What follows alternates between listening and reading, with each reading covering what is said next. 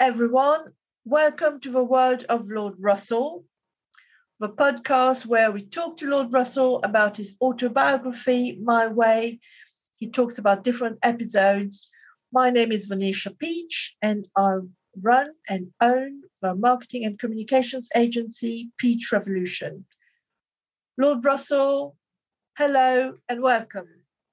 Hello, Venetia. Hello, the audience. Uh, good to be back again for another thrilling show. So, uh, this sounds exciting. Africa, Kenya, the Maasai people. Amazing. Yes. So, today we're going to talk about Lord Russell's encounter with the Maasai people in Nairobi, in Masai Mara. And uh, it, it's a wonderful adventure, actually. It's uh, out of this world, what happened, how I encountered different animals as well. So, he's going to talk about all that captured in his book, as I said, My Way, the autobiography.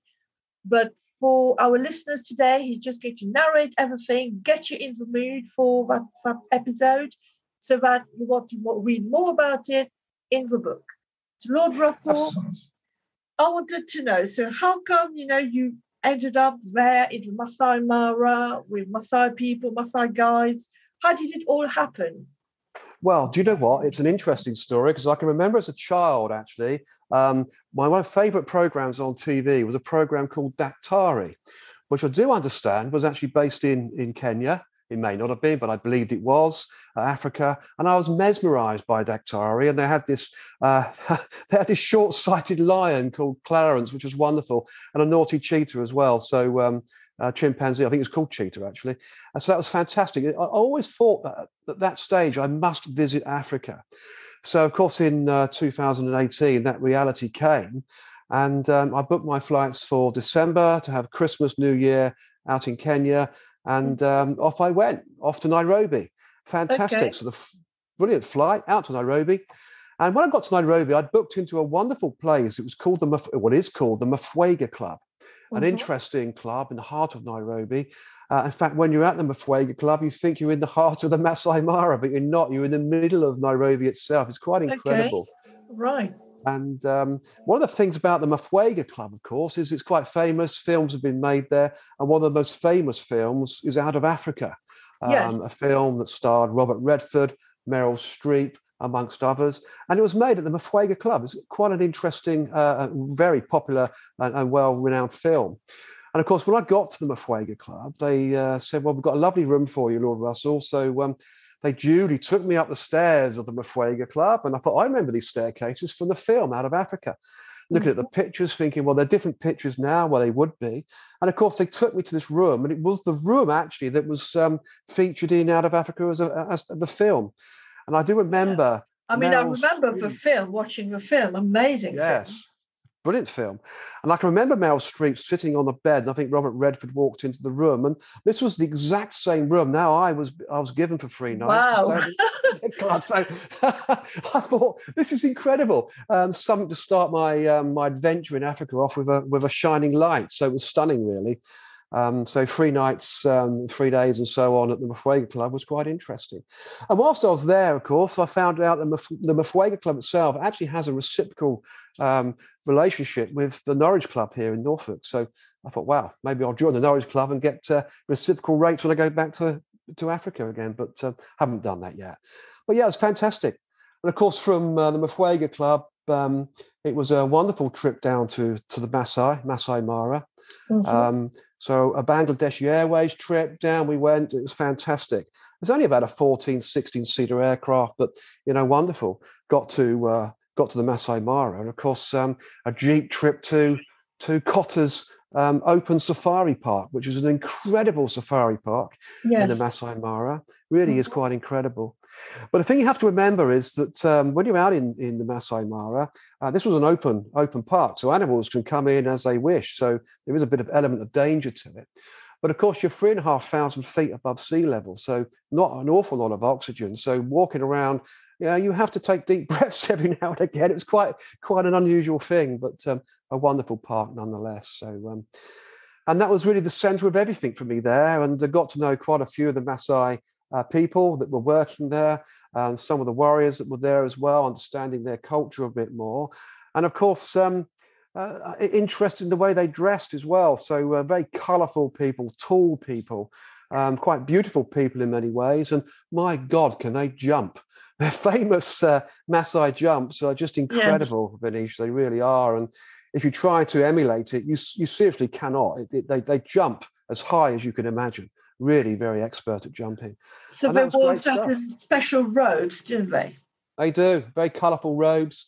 Uh, lots of uh, yellow, red, gr- uh, greens, uh, oranges, and uh, that's their robes. It's beautiful, absolutely stunning robes. And of course, you know, when they're out in the bush, when they're out in the, the Maasai, they do tend to wear what they I call bling, which is these these overalls uh, which have spinning discs. Um, mm-hmm. So they, as they spin, they to reflect, the, the, light.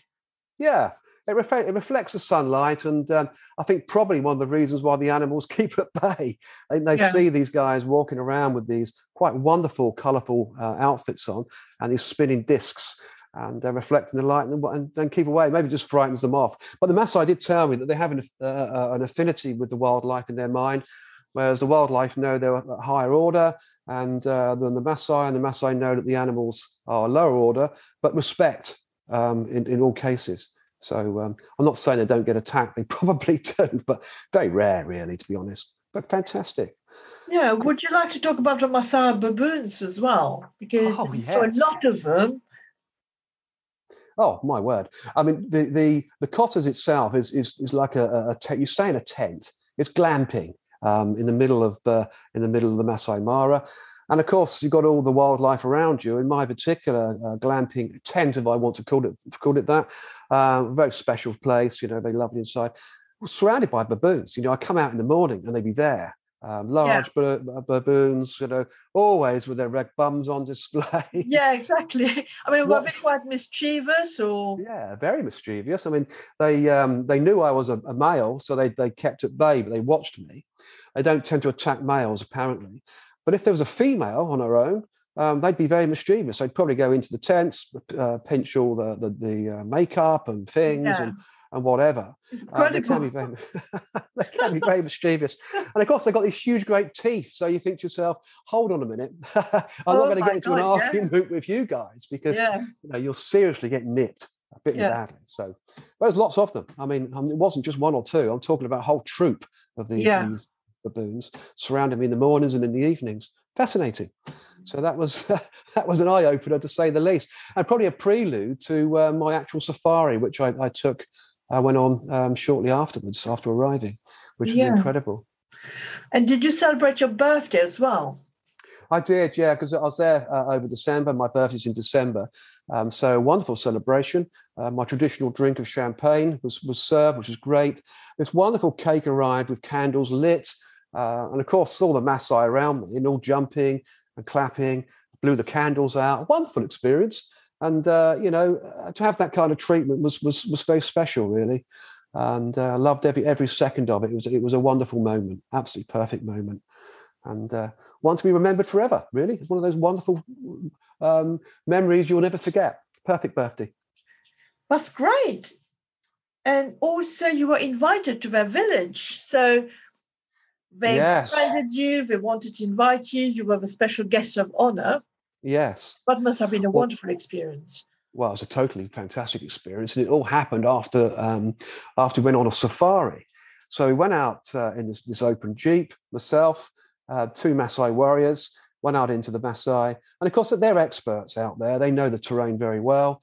Um, and uh, they said to me, "See those dots on that mounting over there, or hill, Russell?" I said, "Well, well, Lord Russell." I said, "Yes, I can." and it was just facing off to Tanzania. And um, they said that's that's it. They're elephants. Really? Uh-huh. Look like dots, like trees or bushes. Yeah. I never know. well, these guys. They recognise that straight away. What, what oh, absolutely. Yeah. So the foot went down, and off we tore over to this part of uh, the Maasai. And uh, you know, you're going past giraffe, you're going by past zebra, fantastic. More baboons, wonderful.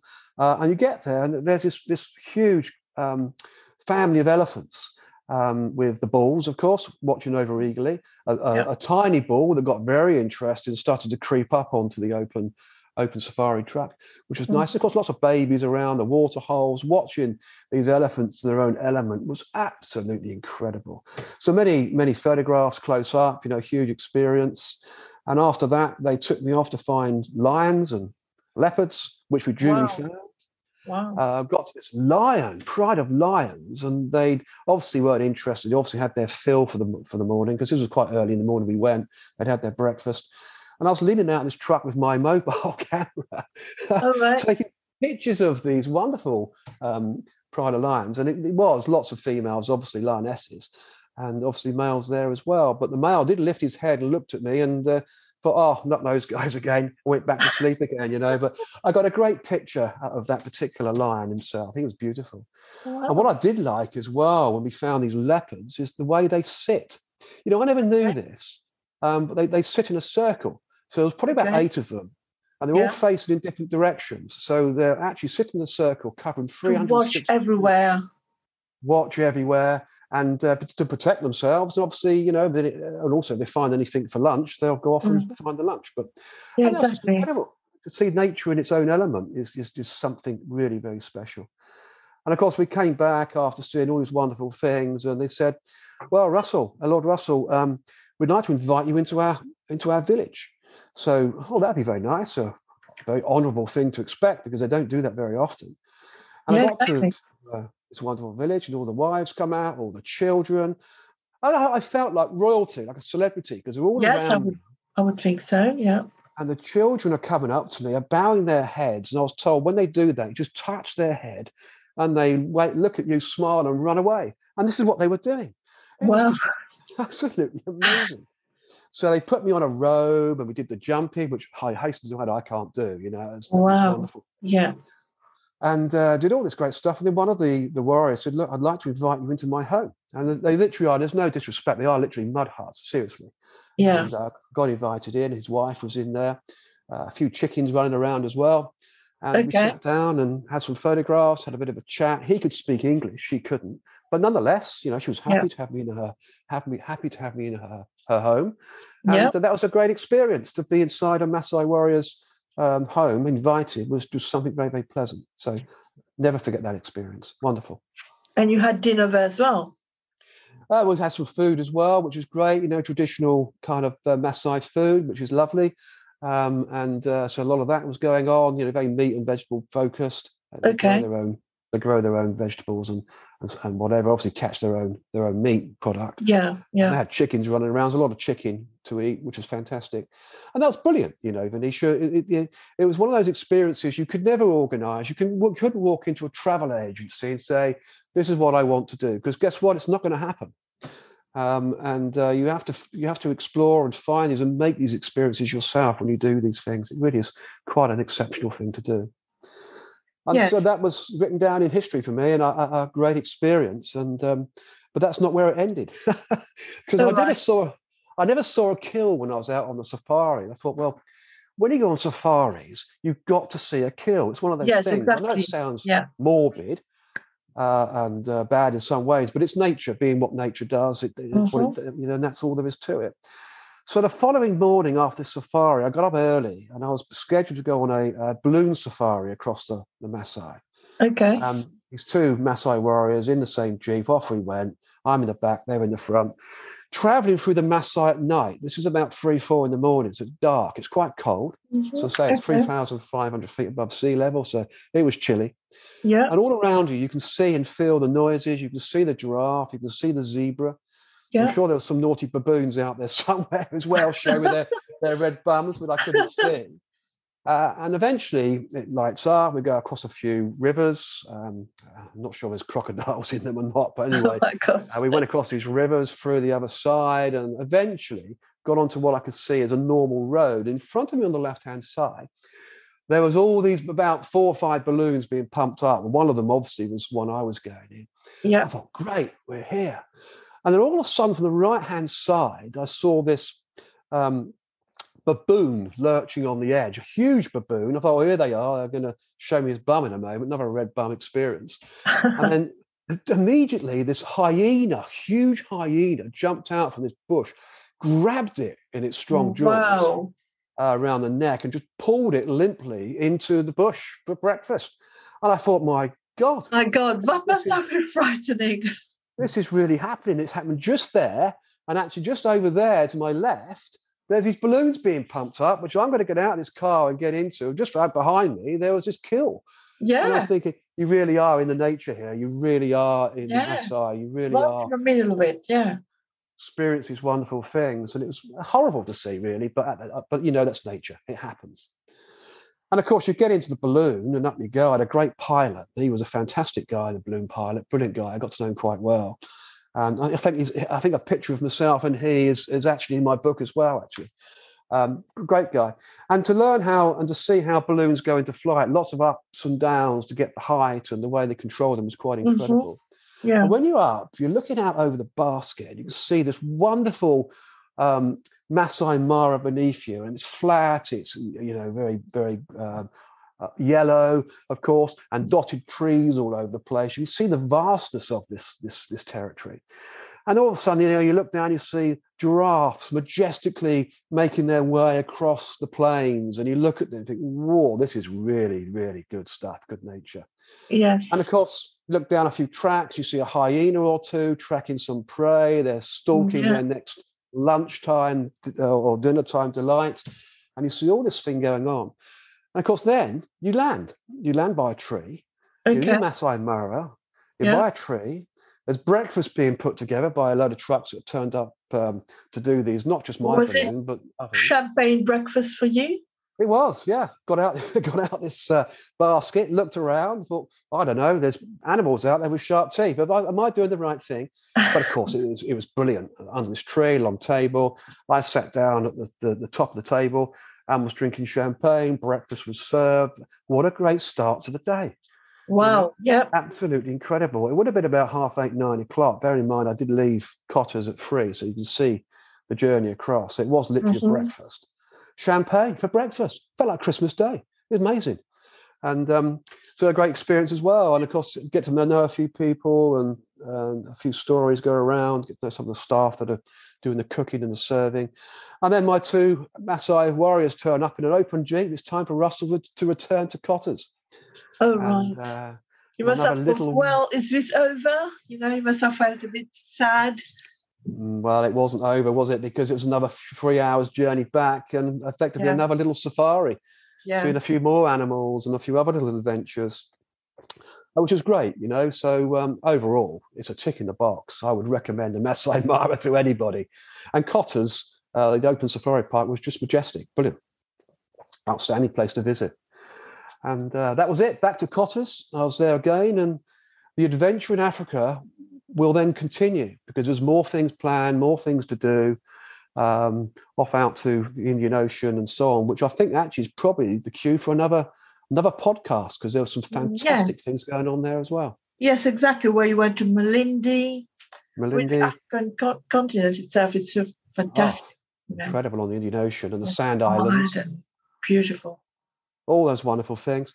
And of course, uh, the journey down to uh, Malindi again via Bangladeshi Airways had another story to it uh, because I had to go from the Maasai back to Nairobi. Um, and uh, that particular journey was quite interesting because we had to drop up five minutes down to the next uh, airport in, uh, in Maasai, up five minutes down to the next runway in, uh, in, Mhm. in the Masai Mara.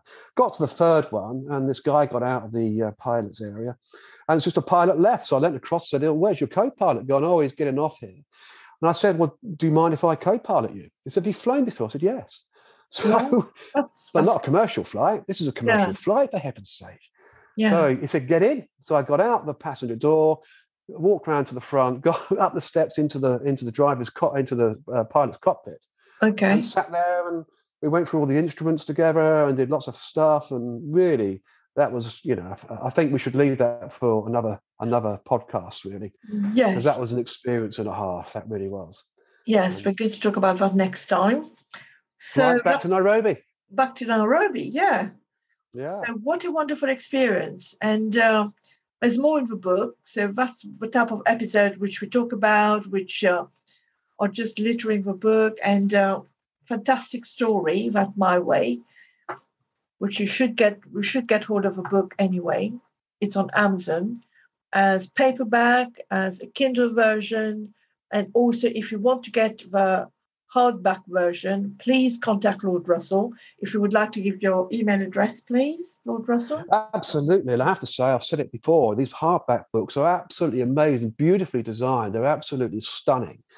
Um, so, a signed copy. Uh, if you drop me an email at Russell, that's R U S S E L L, at norfolklord.co.uk, uh, we can then communicate, uh, make payment. I can then sign a copy, put whatever words you want me to put into the book, and post it out to you. So a nice hardback copy. They're beautiful books. They really are quite stunning. So yeah, hardbacks available from me personally, and on Amazon, as Venetia's just said, you've got the Kindle versions as well as the soft, the softback versions as well. They're available now. And uh, regarding the podcast itself, it's on fortnightly. So the next one will be due. Actually, this is a bit special this time, so it will be due the next one next week. So instead of fortnightly this time, it will be due next week. And uh, we are all available on Spotify, Apple Podcast, Google Podcasts, and Amazon Music on the different platforms. So we would urge you, listeners, to actually subscribe so that you would have all the episodes handy and listen to us, follow us, comment if you want, interact. There's more to come, much more to come. But as I said again, the best thing to do is really to grab hold of a book which is available on Amazon right now. Absolutely. Anything else you wanted to add, Lord Russell? No, just get the book. It's a beautiful story. Uh, what you're hearing on these podcasts are just little snippets, really. What's what else is in the book? It's just a, a page turner, an end-to-end page turner. You will never better put it down because every page has a story um, about something sad, dangerous, adventurous, happy. You know, it's got everything in there that every book needs. Perfect.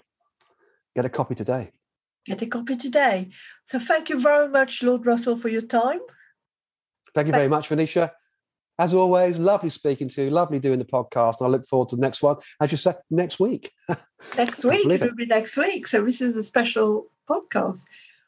So thank you very much to all our listeners as well. And we hope that you will listen again next time. But for this time, please interact, please subscribe. We are here every fortnight. Thank you very Thank you much. very much. Goodbye, everybody. Speak soon. Thank you. Adventures. Goodbye, everyone. Bye bye. Bye bye.